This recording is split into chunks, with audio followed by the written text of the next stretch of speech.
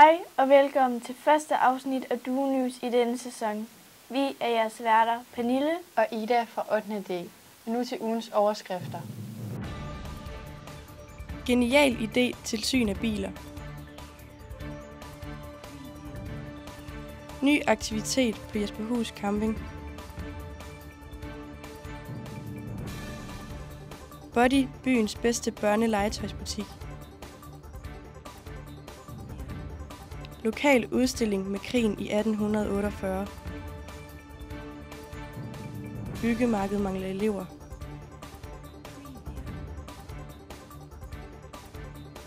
Mange uddannelser under samme tag. Megaspace for indskolingens børn. God sammenhold i Morsø Rideklub. Vigtig kamp om nedrykning.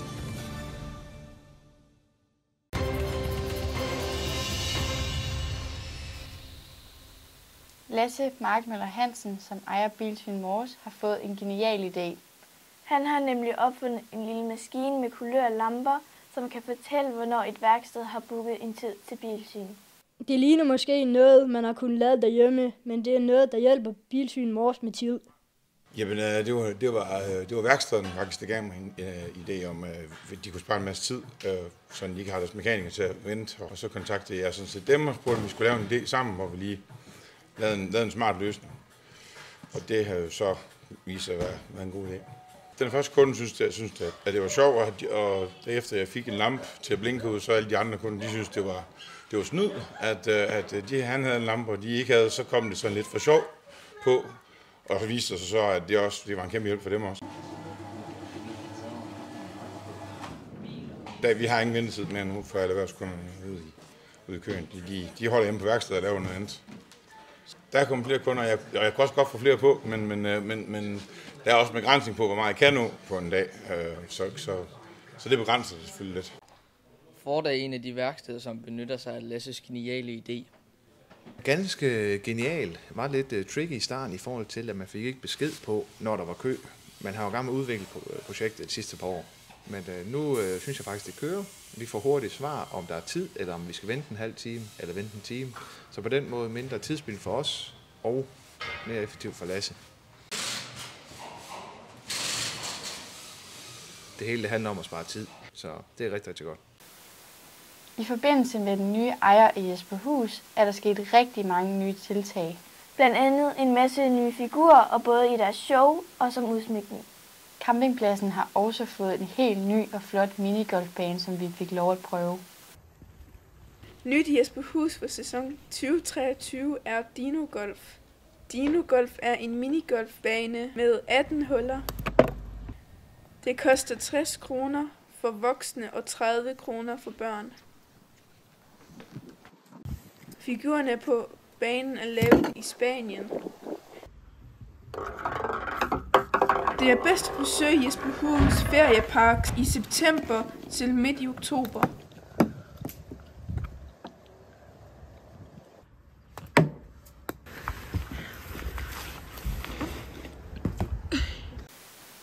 Emma Simonsen er medarbejder i Body. Hun tænker meget på at gøre kunderne glade og give dem et smil på læben. Antallet af kunder i hverdagen falder, og de arbejder på at finde en løsning, så kunderne kommer tilbage. I Body har de forskellige typer legetøj til alle børn i alle aldre og køn. Altså, det er rigtig hyggeligt at arbejde i Body. Jeg har også arbejdet i en legetøjsbutik før, øh, så jeg vidste sådan lidt, at det var det, jeg gerne ville. Øh, fordi det er meget forskelligt, hvad vi laver hver dag, og også det her med at have med børn at gøre.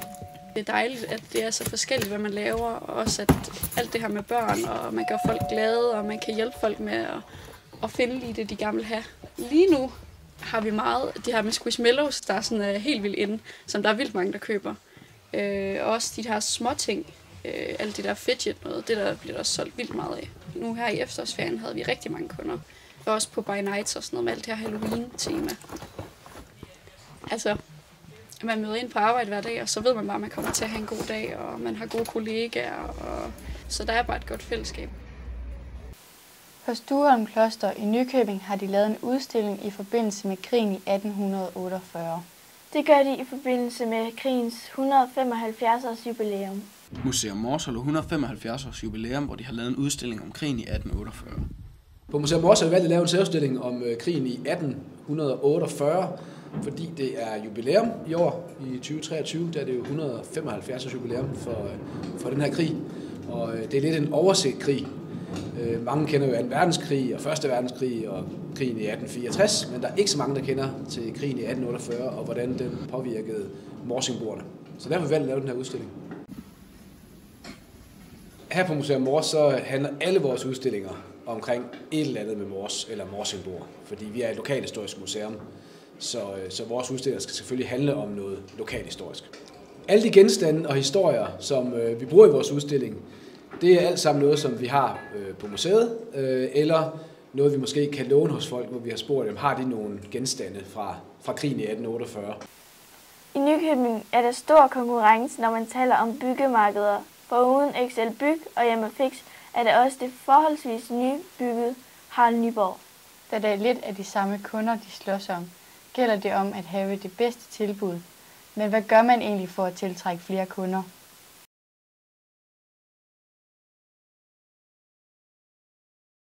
Hvordan har I klaret jer med at finde og beholde medarbejdere? Jamen altså, vi har jo, vi tror, mener jo selv, at vi har en rigtig god arbejdsplads, og vi gør meget for, for unge arbejdere.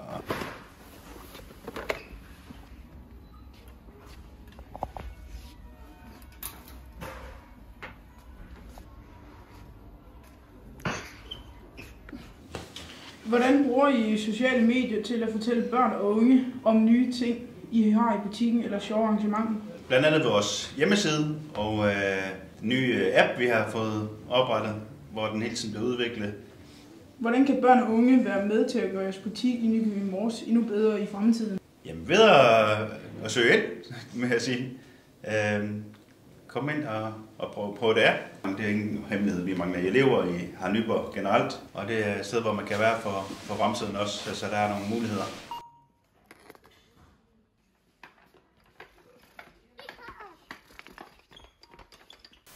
På Nordic Food College kan man blandt andet uddanne sig som kok, landmand, mekaniker, dyrepasser og meget, meget mere. Landmand er en af de mest valgte uddannelser.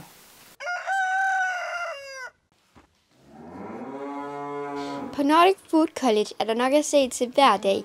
Jonas Korsgaard fortæller om hans funktion som forstander. Det er meget alsidigt, kan man sige, når man er øh, forstander på sådan en skole her. Øh, det er jo alt fra elever til undervisning til bygninger, der skal holdes til udenomsarealer og, øh, ja, og kostskole.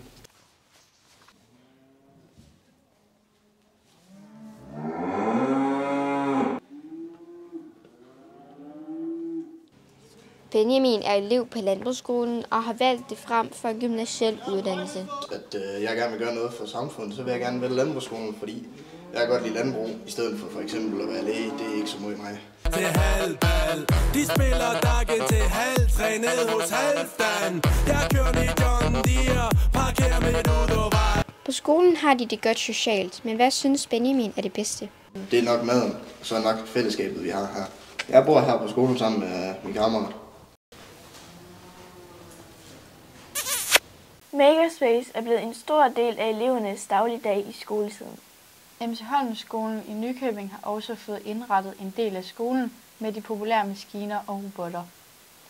Susanne Rasmussen er en af skolens læringsvejledere. Børnene på MC Holmskolen nyder godt af det nye Makerspace, både i timerne og i SFO'en. Lærerne de arbejder med Makerspace op i klasserne øh, selv, og så er der to gange i ugen mulighed for, at de kan komme herned i vores Makerspace, og i SFO der arbejder jeg meget med, hvad hedder det, Makerspace. I dag der laver vi klistermærker, øh, og det gør vi på vores klistermærkemaskine, og børnene de arbejder i et program, der hedder Xtool. Så leger vi med robotter. Vi har haft lånt nogle robotter til de mindre elever, og vi har selv nogle robotter til de større elever.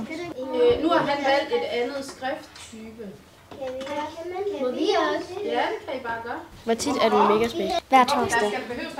Hvad har du prøvet at lave i Megaspace? Øh, lave klistermærker til dukkehuset. Nej, det kan den ikke. Det skal den ikke. Ofte om torsdagen koder vi, øh, hvad hedder det, i Space Junior. Hvad er din yndlingsting, du har lavet i Megaspace? Det er at lave sådan ting ud af en lasermaskine. Hvorfor har I valgt, at I skal have Megaspace på Holm? Det har vi, fordi at øh, det er en rigtig god måde at blive undervist på, men også fordi vi er med i det projekt, som vores har sat i gang med Megaspace. Kan I mærke på børnene, at de synes, det er sjovt og kan lide det? Det kan de. Det er en helt anden måde at lære og lege på, og de elsker det. Morsø Rideklub er en populær rideklub blandt folk. Både store og små nyder godt af den klub, hvor du kan lave alt det, du bedst kan lide med hesten. Hvor mange timer bruger du i stallen om dagen? Jeg bruger alt imellem 2 til 12 timer.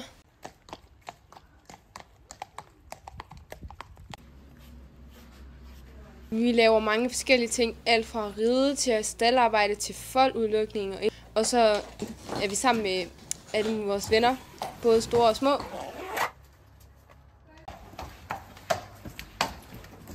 Er der flest drenge eller piger, der vælger ridesporten? Jeg tror egentlig, der er ret mange af begge slags.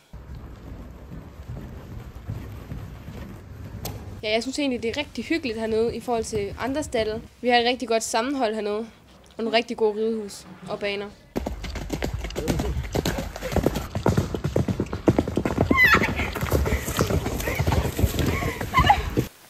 Lørdag spillede Nordvestmors Boldklub og Skive IK en tæt kamp på Nordvestmors hjemmebane.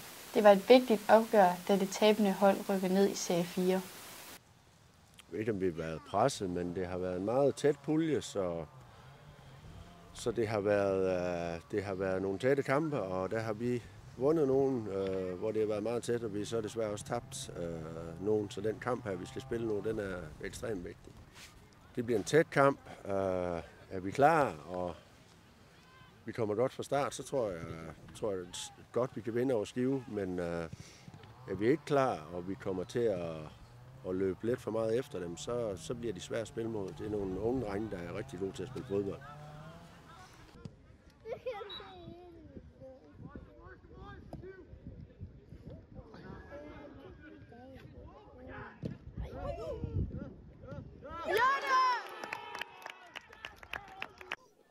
Nu rykker ned efter en tæt duel mod Skive IK, men desværre blev det ikke til en sejr. Og så vil vi gerne lige have et par ord for anføreren. Øh, det var en kamp, der var afgørende for begge hold, og så øh, kunne man godt se, at de ville, øh, de ville op og vinde noget mere, end vi ville. Vi kæmpede måske bare for at, at få en uafgjort, og det får vi så også, men kan så ikke holde den til sidst. Det er lidt en skam. Ah, hvad gik det galt? Der går måske lidt galt til sidst, at vi, vi prøver at spille for meget fodbold, selvom vi er i overtal, og så, øh, så får de to omstillinger til sidst, hvor vi skal satse, og det, øh, det er jo en del af fodbold. Det var Du News i denne uge. På gensyn i næste uge med 8. B.